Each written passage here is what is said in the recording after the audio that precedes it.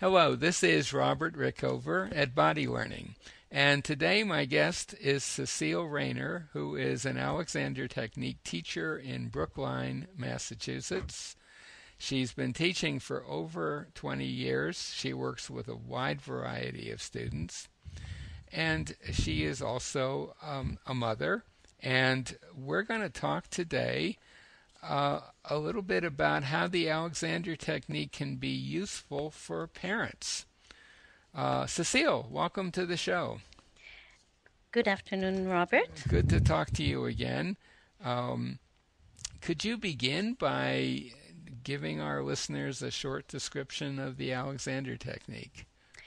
Yeah, um, the Alexander Technique is an um, efficient way to uh, reclaim postural balance. Um, by freeing ourselves from harmful habitual pattern mm-hmm. patterns and um, it helps us uh, prevent body misuse and overuse and it is done by teachers who use a gentle hands-on process um, of kinesthetic re-education that engages both the mind and the body well you know you mentioned um, uh, body misuse um, often, I guess, due to stress or strain. Mm-hmm. And uh, when I put that in my mind next to parenting, from my own experience of that, which uh, it's it's pretty easy to see a connection there. Mm-hmm. Um, certainly, uh, I don't have any experience of parenting very small children, but I do have experience of teaching uh, slightly older children, mm-hmm. and there are certainly times when your own physical, let's say your own physical mechanism is challenged mm-hmm. by by the stresses uh, involved in parenting. So, do you want to say a little bit about that, uh, maybe based in part on your own experience as well? Yes, so there's several things I'd like to say about parenting. Some have to do with uh, when the children are very little. Mm-hmm. and they're they're they can't walk yet and they're in a stroller and and and at and at some point they're trying to walk so these are a, few things i'd like to say about that and then and then there's other things i can say in terms of children in general and older children and how I mean, I believe that parenting is really one of the hardest um, task anyone can do, and it's it's something that no one can be prepared for. No matter how many books you read, no matter how how your parents were with you, no matter, mm-hmm. uh, it's really one of the hardest things. So of course, it's going to trigger all our habitual pattern and our reactive patterns, and so uh, it is definitely the the one activity that if there's one activity you want to use your Alexander, it's parenting. mm-hmm. Yeah, yeah. And uh, you mentioned um, very young children. Uh, obviously, one one of the things that you have to do with very young children is lift them and put them places and put them into car seats and so on. Yeah. And that's um, that can be quite a, a challenge physically.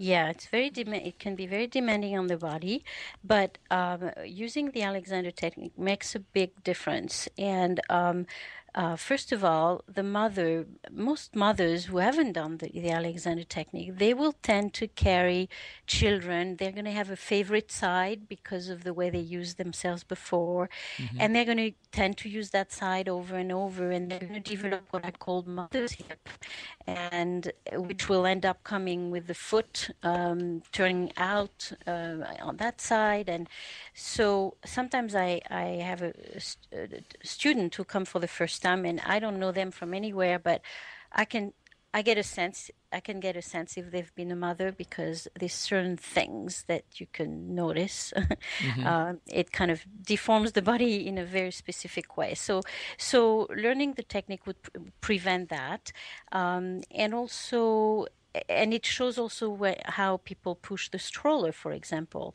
Um, if uh, somebody who hasn't had Alexander, you see them really efforting with their arms and shoulder to push the stroller, mm-hmm. um, and so the whole body is very disconnected because it's too much tension in the neck, shoulder, and arms.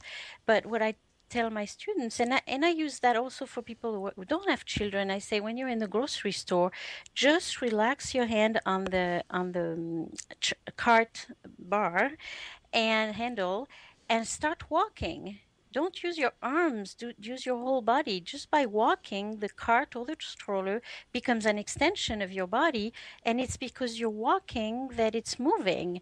Mm-hmm. And it's a total different way of using yourself, and it's way less stressful on the body.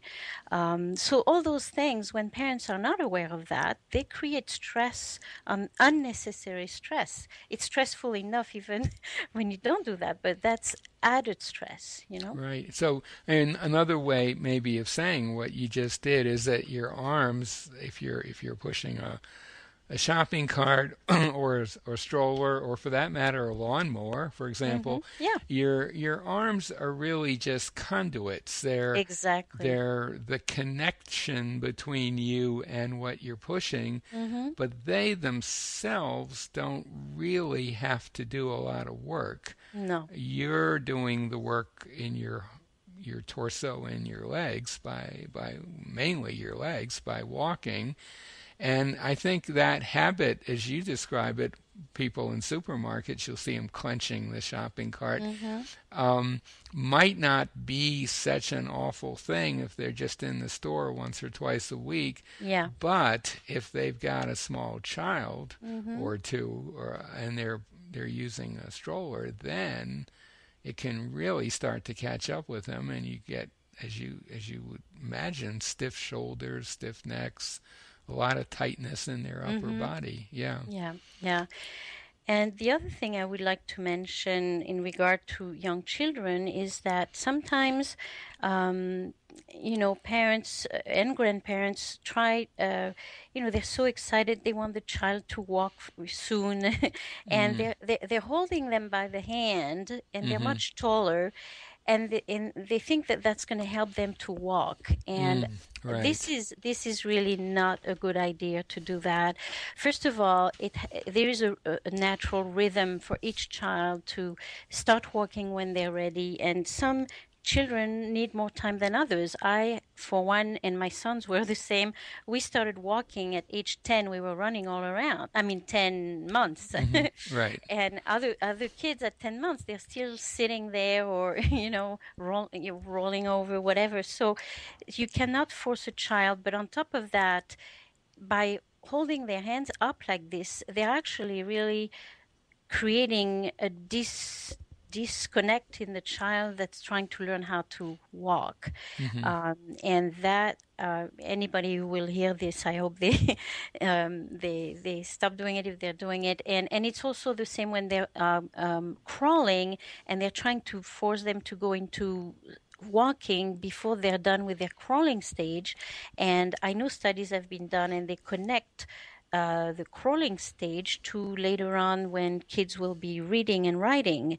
And so, if you don't let kids have this time they need to go through all the de- developmental stages, you can actually affect their schooling, their skills when they're going to be in school. So, mm-hmm people don't know that, but I just felt like I needed to mention yeah, that. absolutely. Crawling and creeping, those are mm-hmm. pretty important uh, developmental stages. And I'll tell you what I see a lot, and I imagine you do as well. Uh, children who is has is walk a child who is walking but maybe quite young, mm-hmm. a few years old, uh, walking hand in hand with a parent who is a bit the parent is a bit oblivious of how fast they're walking yes. for the short legs of the child. And I've seen mm-hmm. this a lot yes. where the child is really struggling to keep up. And I mm-hmm. think, again, um, a parent who's had some Alexander training would immediately be mm-hmm. sensitive to that. Yes, it's, it exactly. sort of jumps out at you uh, when you see it as an Alexander t- teacher. And I think a parent who had that kind of um, orientation would even sense it directly through their hands that this mm-hmm. kid is really struggling and of course creating all kinds of extra tension, which is going to be associated with walking uh, down the line. So there, I guess there's an example where it really, really directly affects uh, uh, your your children. Now, if yeah, go ahead. You were yeah. I want I want to mention another thing, which is I know that with my first child, uh, even though at the time I was already starting to meditate and and um, you know, trying to learn what it means to be mindful in every possible way. It was the very beginning, uh, but I hadn't yet uh, integrated it enough that I was able to use it uh, when he was very little. And I remember walking to, I had uh, walking him to his daycare, and of course he he wanted to stop in front of every flower, every worm, every, mm-hmm. and mm-hmm. I remember being impatient because you know I had things to do. right. and right. and uh, so. Um, the, the, the, the Alexander technique also develops a certain level of mindfulness and awareness and, and ability to to be in the present moment. And I'm I'm so grateful that I studied this between my two kids because I think I was way more like that for my second one. Um, and uh, I wanted to mention that too. Um, right. Right.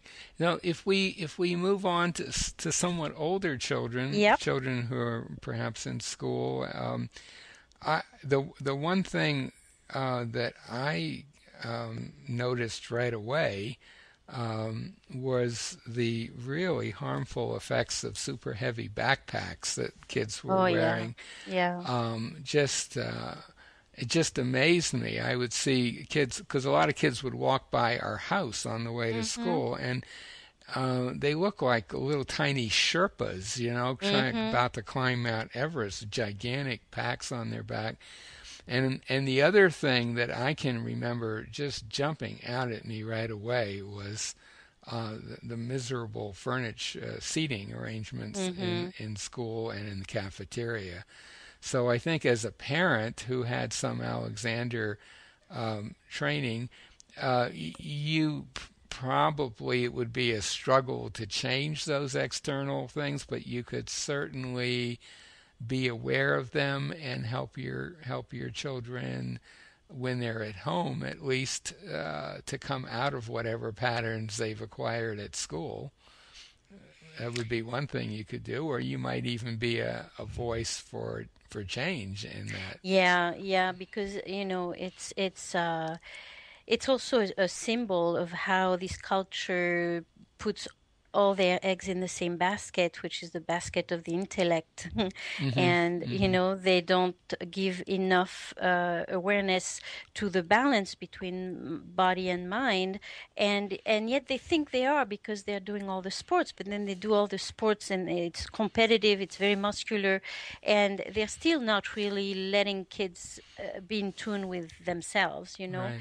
So so this is something that uh, yeah I, I, had trouble with, but um, but the thing is you know you can't you know by yourself you can't change certain things but um, eh, you know like i tell people you can't prevent the stress of life but you can choose how you handle it right, and that right. makes the whole difference so if you teach your kids that then you're going to have kids that you know have a certain understanding of things um, that sometimes they have to do things that are not comfortable or whatever but in general i mean my my younger one my the second one um, I remember somehow between my meditation and my Alexander, uh, little things happened that were quite uh, uh, interesting to show that they understand at a young age what I was doing.